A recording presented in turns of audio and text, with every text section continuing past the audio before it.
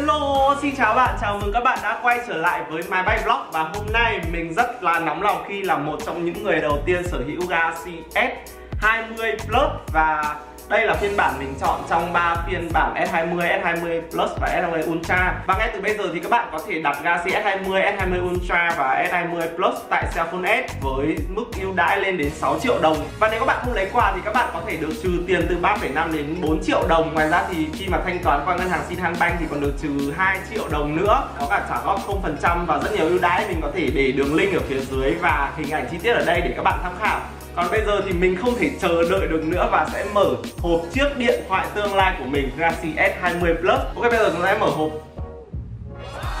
Wow. Đây, phiên bản mình nhận được là phiên bản màu xanh. Khi mà nhìn xa thì nó sẽ hơi hơi màu trắng một chút. Thực ra là mình thích màu trắng nhưng mà hiện tại thì Samsung không bán phiên bản màu trắng tại thị trường Việt Nam Thì cho nên là mình đã lấy phiên bản màu xanh để khi mà nhìn xa xa thì trông nó cũng khá giống màu trắng. Rồi tiếp theo sẽ bóc cái siêu này. Ra Wow, không phải lúc nào mình cũng được bóc siêu điện thoại mới các bạn ạ. Thường thì mình sẽ mua máy cũ này Rồi mua lại những chiếc máy mà mình đã review của những người khác review. Thì mình rất ít khi mà được bóc siêu máy mới như thế này.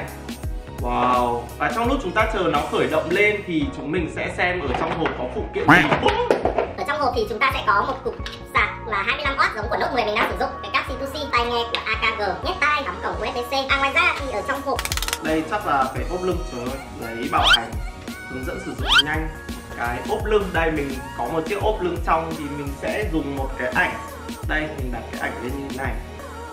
Đó thường những máy mới ra thì nó sẽ chưa có ốp ngay vì thế là mình sẽ tận dụng cái ốp trong này. Đánh dấu chủ quyền đây là điện thoại của mình. Đây là Galaxy Buds 2 nghe bảo là nghe sẽ hay hơn sẽ có chống ồn nhưng mà không chủ động. Có thời lượng pin gấp đôi 11 giờ phát nhạc uh, cái màu đen năm nay nó thiết kế là kiểu bóng các bạn ạ. Ô, oh, Galaxy Buds 2 này nó đã hơn cái Buds 1 rất là nhiều rồi. Cái nắp nó mở cũng chắc chắn hơn rồi à, cái thiết kế thì màu đen này nó bóng bẩy và cao cấp hơn này. Cái nắp này có cái độ có cái độ hít ấy, nó tốt hơn hẳn năm ngoái. Năm ngoái thì cái nắp này như ở mà nó không liên quan gì đến cái tai ấy Thì năm nay cái nắp này nó đã hoàn thiện tốt hơn rất là nhiều rồi.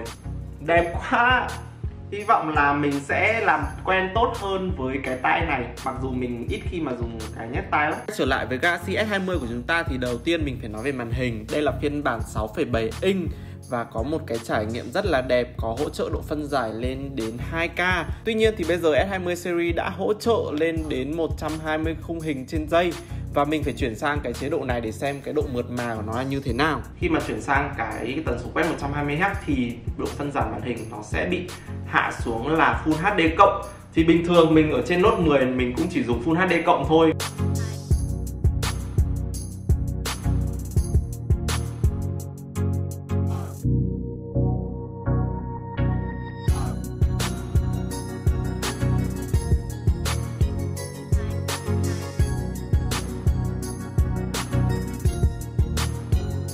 Và khi mà lần đầu tiên mình cầm cái Galaxy S20 Plus này lên ấy, thì mình cảm thấy là thực ra nó không to như là mình tưởng tượng ở khi mà thấy ở trên ảnh.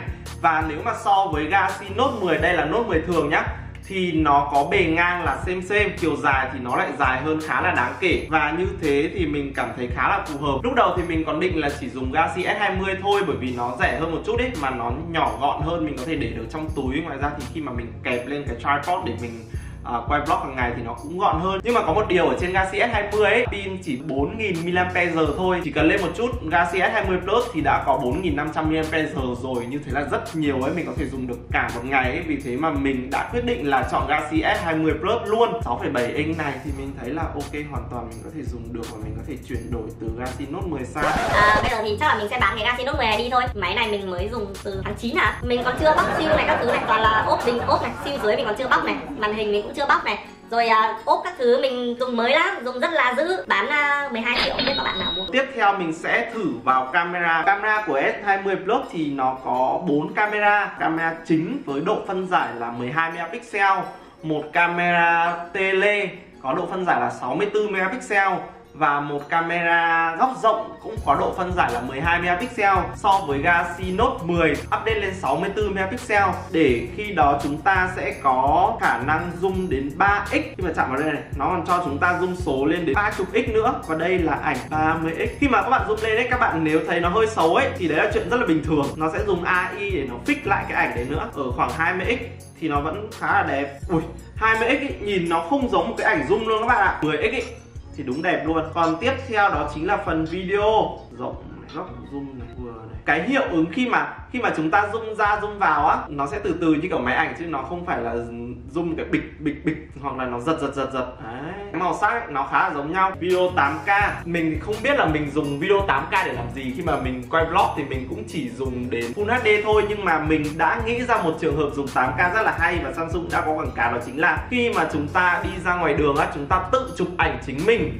hoặc là chúng ta đi du lịch mà chúng ta vừa cần quay vlog mà chúng ta lại vừa cần chụp ảnh mà không ai chụp cho ấy, thì mình có thể dựng máy ở lên chân, sau đó thì mình bật quay video 8K qua đi lại sau đấy thì lúc về, chúng ta sẽ mở cái đoạn video 8K nó lên, chọn những cái khoảnh khắc đẹp nhất ấy ta sẽ có những cái góc mà khi mà như đang chuyển động này, nó tự nhiên hơn này, mà mình có nhiều sự lựa chọn hơn. Nếu mà nhờ người ta chụp ấy, cùng lắm người ta sẽ chỉ bấm cho mình được một, hai tấm thì thôi, đúng không? Lúc mà nhờ người ta bấm quay 8K sau đó thì mình về sẽ có một cái video và sau đó thì mình chọn cả nghìn tấm trong cái video đấy thì mình nghĩ là nó sẽ lợi hơn. Mình sẽ có một cái video mà đánh giá camera này, chỉnh sửa ảnh nói chung. Nếu mà các bạn muốn mình làm như thế thì hãy bấm like, share và subscribe cho mình để mình có động lực để làm nhá.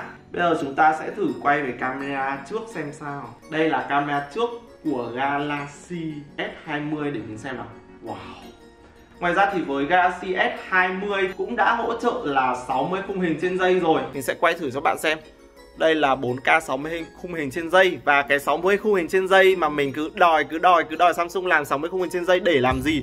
Để mà khi mà mình làm một cái gì đấy như thế này này thì nó sẽ có thể tua chậm được. Đó. Và tính năng cuối cùng camera mình muốn demo cho bạn xem, Cái này hay lắm, One Take ở đây thì nó ghi là một đoạn, khi mà chúng ta bấm chụp ấy, thì nó sẽ dùng hết tất cả những camera, những cái tính năng để nó chụp. Thì đây, mình sẽ demo cho các bạn nhé